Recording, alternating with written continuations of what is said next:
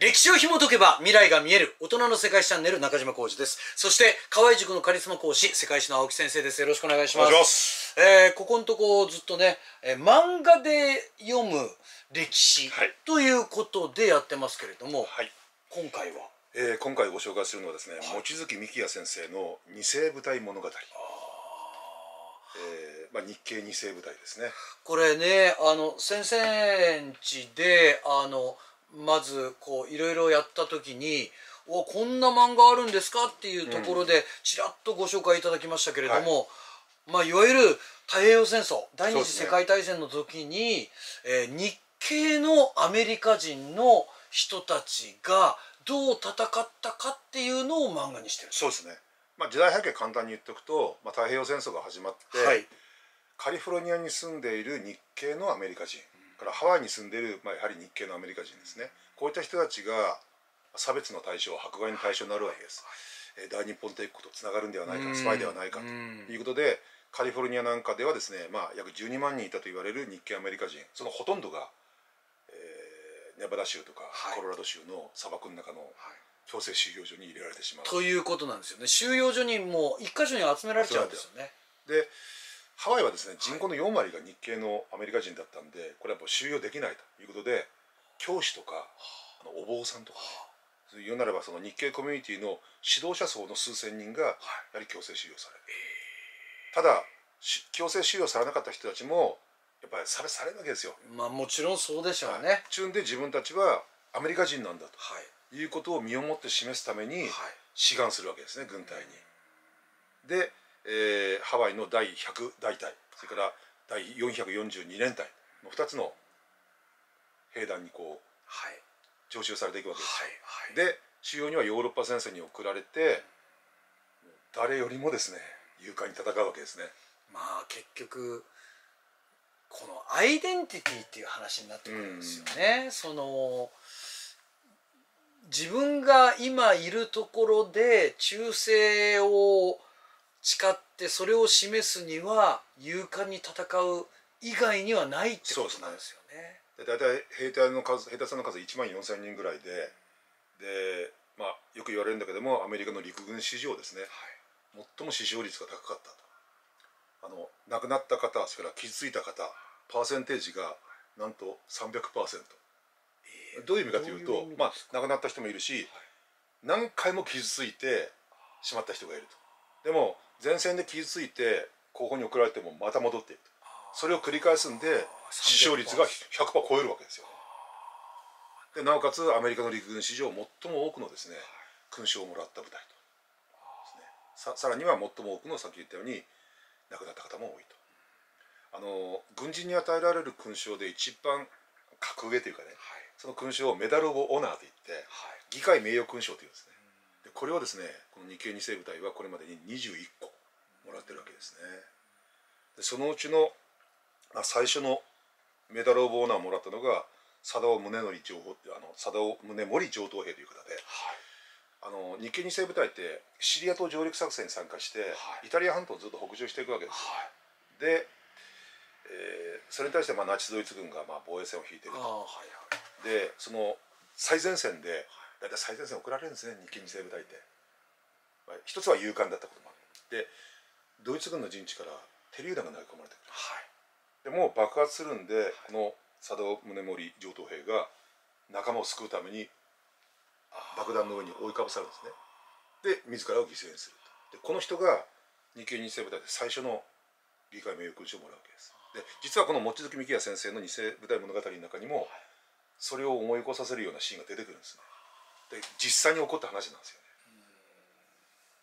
それから、まあ、この方は非常に有名ですけどもダニエル井上さんという方ですね、はい。この方はあー、まあ、やはり日系二世部隊の、まあ、将校として活躍されるんだけども、あるそのドイツ軍の陣地に突っ込んでいく時に、まあ、手榴弾でやっつけようとして手榴弾握って投げようとしたらドイツ軍の銃撃を受けて手がちぎれてしまうわけです。そうすると彼はひるむことなく自分のまあもげた右手から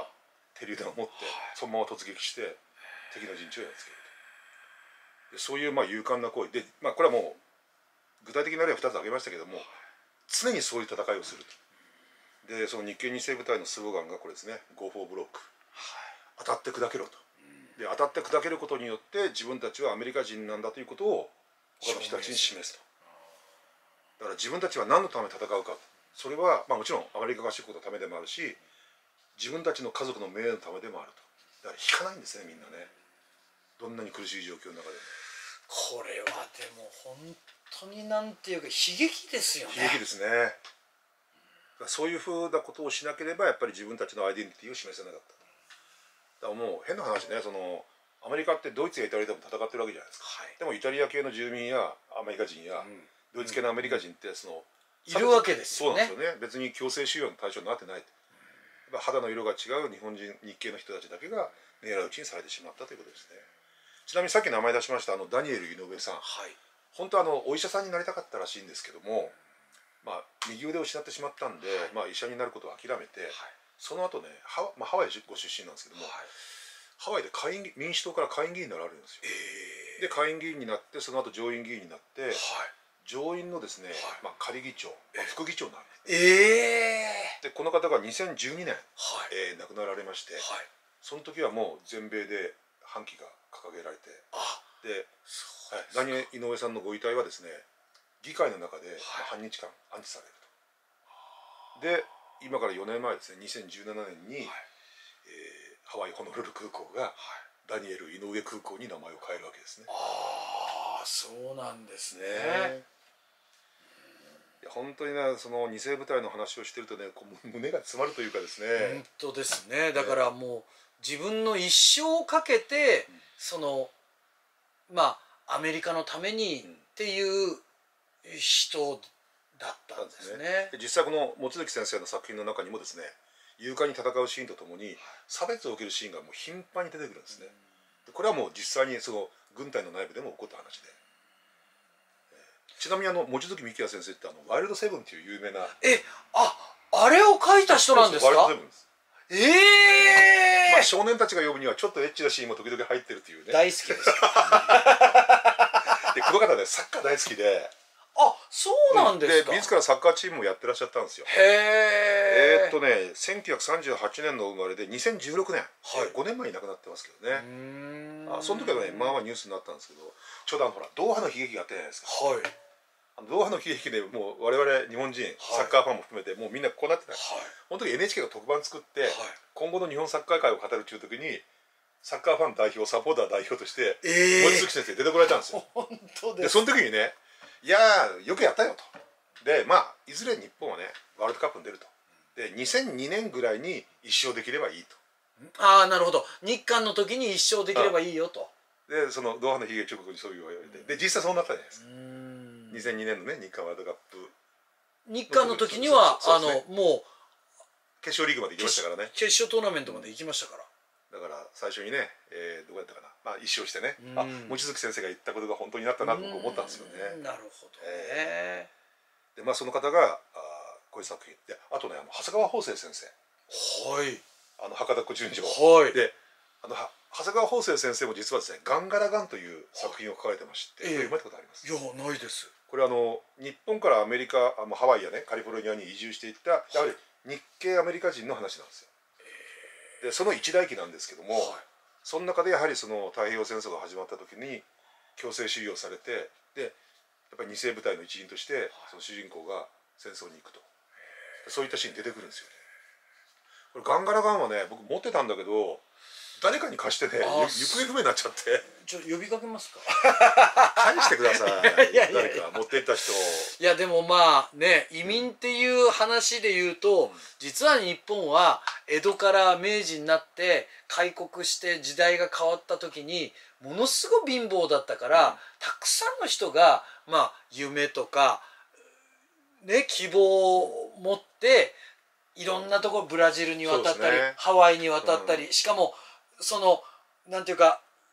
地域ごと行っちゃうんですよね。そうそう単位で行ったりとかね。そうですね。だからやっぱまあ大変だった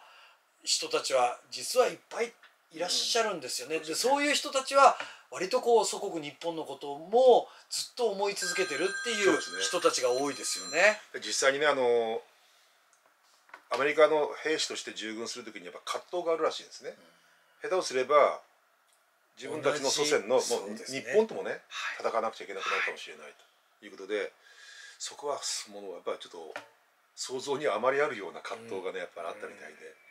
だからやっぱりね戦争じゃいかんのですよ。ということですね。はい、えー今日は望月幹也さんの二世舞台物語ご紹介しました。